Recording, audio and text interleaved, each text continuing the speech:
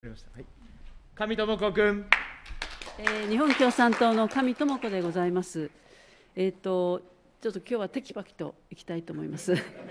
あの法案の質疑に入る前に米国産桃の輸入の回帰問題についてお聞きします。で米国政府からですねこの米国産の桃の輸入を解禁するように要請があったっていうのは山梨の日日新聞の4月1日付の一面で報道してます。で米国政府からはいつ要請があったんでしょうか？えー、小川消費安全局長。お答えします。米国産桃につきましては、本年2月4日付で米国から輸入解禁の要請がございました。上智子君。はい。で、米国政府からの桃の輸入解禁要請が通商広報に4月1日に公表されてます。で、なぜですね、これ公表するまでに2か月近くかかってるんですけれども、なぜなんでしょうか？小川消費安全局長。答えます。いたします。あのご指摘のとおり、4月1日付で通商広報に公表しております。あのこれはですね、公表に先立ちまして、3月30日、3月31日に、桃の主産地の県の担当者や関係団体を対象に、オンラインで説明会を開催してきたことが原因になっております上智子君。あのなんか分析とか情報情報を聞いて分析精査するしたからじゃないんですか？それから説明したんじゃないですか？小川消費安全局長。あはいお答え申し上げます。あのその説明会のための材料を集める時間が必要だったということでございます。上智子君。それでその情報を集めて分析して何が分かりましたか？小川消費安全局長これはあの私どもの植物検疫協議はこれからやっていくわけでございますけれども、例えば米国産の桃の主産地がどこにあるのかとかですね、生産量がどこにあるのかといったような情報を収集して、産地に情報として提供してきたところでございます上智子君。あの農水省としてね、その山梨県だとか福島県とか桃の産地の関係者には、いつどういう説明をされてますか？小川消費安全局長。あの先ほど申し上げましたとおり、米国産桃の輸入解禁に関しましては、3月30日、3月31日にウェブで開催をしてきておるところでございます。あの主産地でありますところの山梨県産、長野県産、福島県産など、えー、それぞれ JA 等もああのウェブ会議に参加していただきまして、えー、輸入さをアメリカ側が輸出を希望している品種、あるいは、えー、収穫時期などについてですね、えー、情報を提供させていただいてきたところでございます。上智子君。まあ、ウェブでやってでどういう収穫時がいつかっていうことを話をされたっていうことなんですけどあの資料配布とかはじゃあウェブだからやってないんですか？小川消費安全局長。大変申し訳ありません、今、あの語尾がちょっと聞き取れなかったんでございますけれども。上智子君。えっと、資料とか配って説明したんですか、ウェブだから無理だった資料を切ってる、小川消費安全局長。あの別途あのウェブ会議でございますけれども、えー、資料についても電子的にあの配布をさせていただいているところでございます。上智子君。それでね、米国政府はなぜですね、今、このタイミングで桃の輸入解禁の要請をしてきたんでしょうか？小川消費安全局長。あの検疫当局といたしましては、そのなぜ今のタイミングで要請してきたかにつきましては、承知しておりません。上智子君。あのまあ、承知してないってことなんだけども、桃の生産がですね盛んな地域とか生産者、でその人たちは米国からいつどういう桃が日本に入ってくるんだろうかと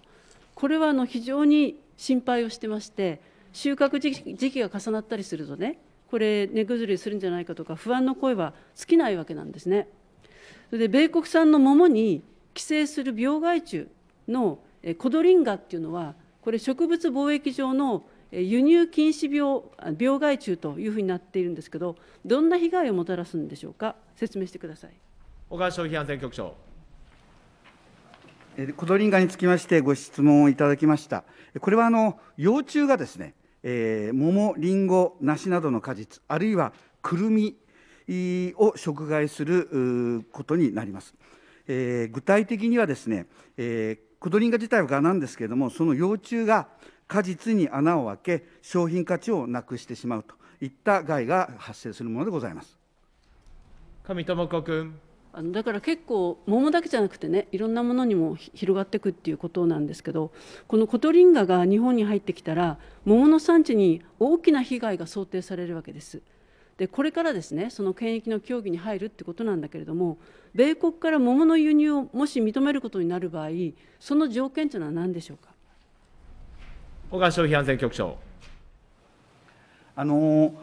これから権益協議を行ってまいります。でその場合のまず一般原則で申し上げますと、ご存知かもしれませんが、WTO の SPS 協定、あるいは国際植物貿易条約における国際基準に基づきまして、まず、米国との間で、検疫の対象とすべき病害虫は何か、これはあのコドリンガ以外にも存在いたします。それから次に、この対象病害虫となった場合に、その侵入を防ぐためにどのような検疫措置が必要かということにつきまして、科学的根拠に基づき、協議を行っていくことになります。従いまして、現時点では、具体的な検疫措置をどうするかについては決定をしておりません。今後、農水省としては、コドリンガをはじめとする病害虫、これの我が国への侵入を防止するため、さまざまなデータを要求、分析しながら、科学的知見に基づき、しっかりと協議してまいります。上智子君。これから中身は協議っていうんだけれども、完全にこれ、もしね、そういうものをそのででいる場合は、防除できる傍受したものでないといけないということになると思うんですけど、そういうことってできるんでしょうか？小川消費安全局長。まずあの、コドリンガ自体はですね、非常に被害を講じるということが一つ、それから輸入時の検査で発見することが難しいので、植物貿易制度上は、まずコドリンガが発生する国からの桃の果実の輸入をまず禁止しております。でその例外となる場合にはですね、先ほど申し上げましたように、検疫措置について科学的データに基づき、えー、きっちりと消毒、あるいは滅却することができるといったことを確認させていただきます上智子委員。あのね、青森の黒星病の話も出てますけどもね、日本にはもともとなかったけども、必ずそういう病害虫って入ってくるわけですよ。それでそのコドリンガについても、あの死滅する方法っていうのはね、これはどういうことがあるんですか、入ってくる前に。小川商品安全局長。先ほど申し上げましたとおり、まずあの、検疫の対象とする病害虫を決めます。で、それが決まった後あ通常でございますと、輸出する米国側からこういった措置で、えー、対処してまいりたいというものがございまして、それに必要なデータを私たちは提出していただきまして、チェックをするといったプロセスになります。現時点でまだ提案がございませんので、今後、協議をしていくということで、えー、ご了解いただきたいと思います。上智子君あの死滅するためにね、例えば燻蒸するとか、消毒をするとか、農薬をやるとか、そういったことっていうのはあるんでしょうかね。小川消費安全局長。あの一般論で申し上げますと、虫でございますので、えー、一つは、えー、熱をかけて殺すで、もう一つは凍らせて殺す、三つ目は薬で殺す、こういったようなことが考えられると思います上智子君。まあね、熱でとかっていうのがあるんだけども、要するにその薬をってことになると、実際に今までもそうですけどねポストハーベストであったり農薬をかけたりっていうことで入ってきた場合に今度はあの健康の問題っていうことにもねつながりますのでそこはですねやっぱり米国政府からねあのそのつもりはないっていうかもしれませんけど言われるままにですね輸入解禁要請を受け入れて粛々と進める必要はないと思うんです。山梨県の知事も記者会見でですねアメリカから言われたら何でもマーケットを開きますってやってられないと。で国も当事者意識を持って考えるべきだっていうふうにあの大変怒りに満ちた発言をされていてこれはあのすももの時はねほとんど何も知らさないままいきなり入ってきたっていうことがあったもんですから非常に怒ってるわけです。で米国からの要請にはですねそういう意味では毅然とした態度で臨むように求めておきたいと思います。えー、では、えー、輸出促進法の改正案についてお聞きします。安倍政権以来、政府は農林水産省や食品の輸出に軸足を置いて、農政を進めてきました。それで円安の影響もあると思いますけども、農林水産物、食品の輸出額が2021年に初めて1兆円を超えたと。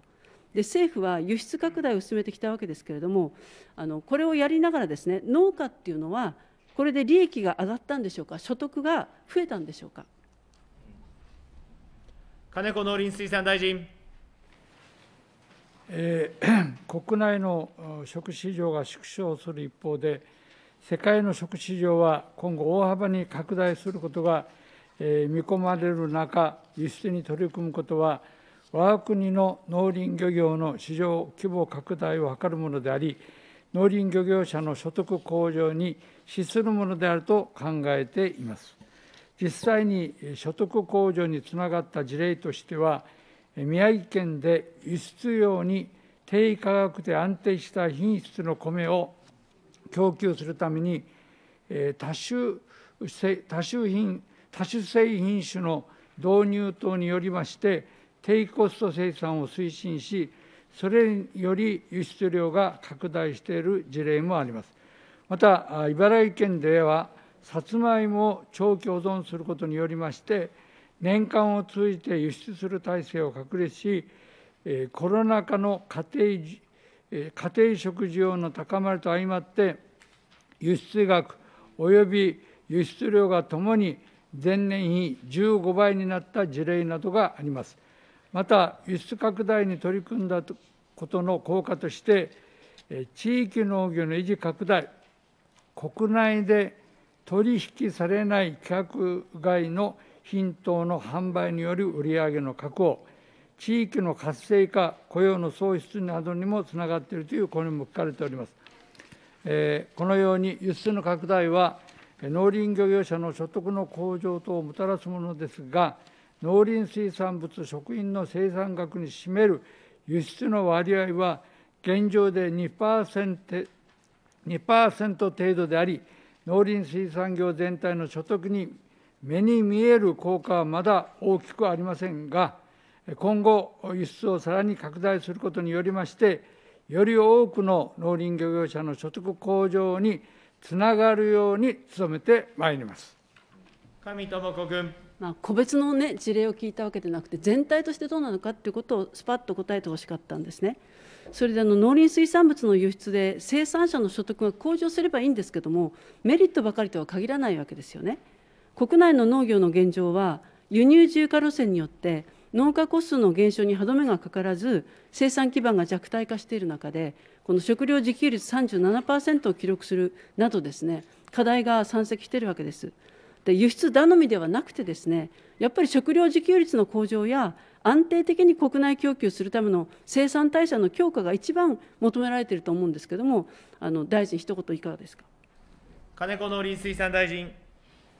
えー、将来にわたって食料を安定的に供給するためには、国内農業の生産基盤強化を図り、食料自給率を向上させていくことが重要です。一方で、我が国では農林漁業者の減少、高齢化が進行していることにより、農林水産業の経営資源経営資源や生産技術が継承されず、生産基盤の脆弱化につながること、中山間地域を中心に農産漁村の人口が減少し、地域コミュニティの維持が困難になることなどが懸念されております。このため、担い手の育成確保のため、新規収納対策として、収納に向けた研修資金や経営開始資金の交付等のほか、今年度から新たに経営発展のための機械、施設等の導入支援を行うこととしており、また、中山間地域等の条件不利地域に対しましては、中山間地域と直接支払い交付金等を講ずることによって、地域の農業生産の維持を図ることとしています。さらに、農地バンクを活用した農地の集積集約化、スマート農業の導入による技術継承や生産性向上にも取り組むこととしているところです。これらの政策によりま施策によりまして、国内の需要にも輸出にも対応できる国内農業の生産基盤の強化を図り、食料自給率の向上を実現してまいりたいと考えております。上智子君。あの今やっぱり食料自給率の重要性が問われていると思うんですよね。長引くコロナ危機に加えて、今度のロシアのウクライナの侵略に伴って、この食料の多くを輸入に依存している日本っていうのは、海外の影響を受けやすいわけですよね。自国の食料は自国で賄うっていうことをですね基本にするように求めたいと思います。でちょっと一問飛ばします。で輸出事業への参画を希望する生産者、えー、中小企業が抱える一番の課題っていうのはやっぱり海外での情報収集ですとかね売り先の開拓確保だと思うんです。で輸出に取り組もうとする生産者や中小企業は法改正によってこの農林水産物食品の輸出促進団体の支援を受けられるということでしょうか大臣。金子農林水産大臣。えー、認定農林水産物食品輸出促進団体は、日本の強みを発揮できる品目の輸出を伸ばすため、主要な輸出品輸出品目ごとに業界一体となって、オールジャパンで輸出拡大に取り組む団体です。このため、生産から販売に至るまでの幅広い一連の関係者が構成員として加入する等により、緊密な連携体制を構築しまして、活動を行うことといたしております。オールジャパンで輸出拡大に取り組むためには、広く門戸を開き、希望する関係者に幅広く加入いただくことが適切ですえ。加入要件や会費は各団体において定めるものでありますが、生産者、製造者が認定輸出促進団体へ加入する加入を希望するにもかかわらず、加入できないといった事態が発生しないように、本認定制度を運用してまいる所存であります。上智子君。加入しないと受けられないわけじゃないですよね。幅広く認めるんですよね。渡辺輸出国際局長。お答えをいたします。あの認定のの輸出促進団体でございますけれども、必ずしもあの加入をしないからといってですねあのそのオールジャパンでの例えばブランディングですとかあの販売のあのプロモーションですとかそういったもののですね、えー、便益が受けられないというわけではございません。上智子君。はい、確認しました。認定団体からのサポートが受けられるということになるとですね、これはの課題は解消される方向に向かっていくんだというふうに思います。で日本のお茶の問題ですけどこの輸出がですねこの10年間で輸出量2倍を超えていると。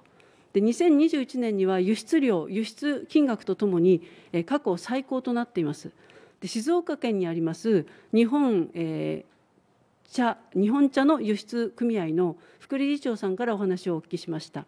で抹茶やお茶の粉末っていうのは今アメリカを中心にあのコーヒーチェーン店などで取引されているそうです。で日本茶は、え今や嗜好品ということではなくて、え機能性食品に位置づけられていて大量生産大量消費の時代になってきているというふうに言うんですね。でそこで輸出ではなくてですね国内の消費量はどのように推移推移しているのかお聞きします。平方農産局長。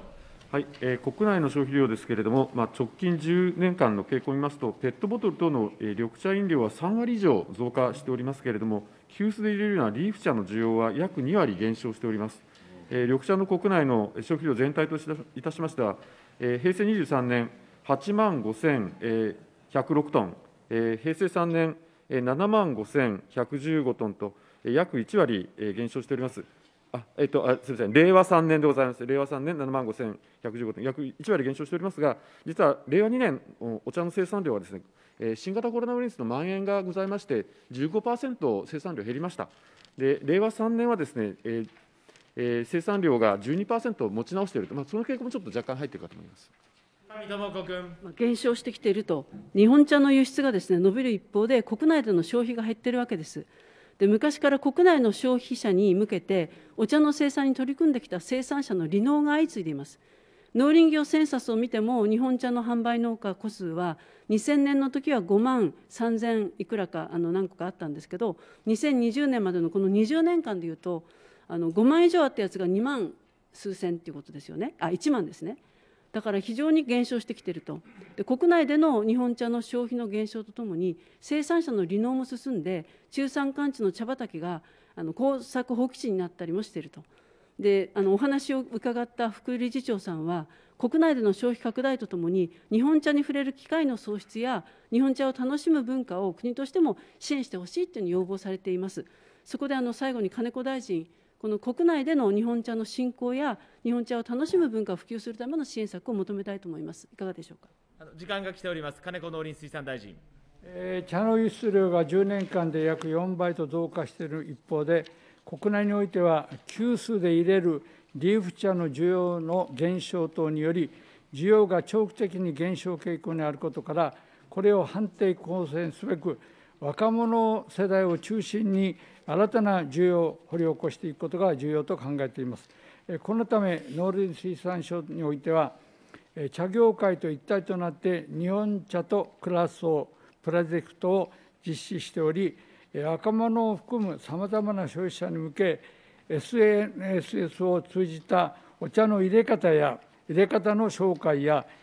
新茶イベントの情報発信などを通じて、お茶の文化と魅力を再認識してもらい、消費拡大につなげる取り組みを強化しています。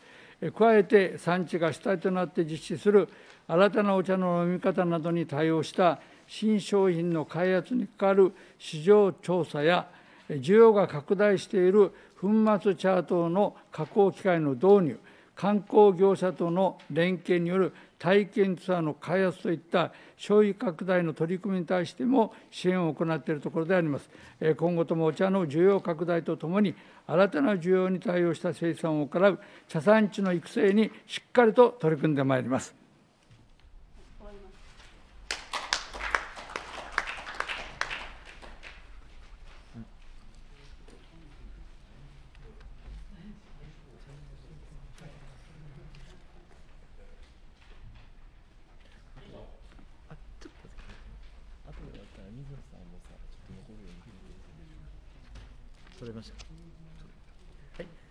取れ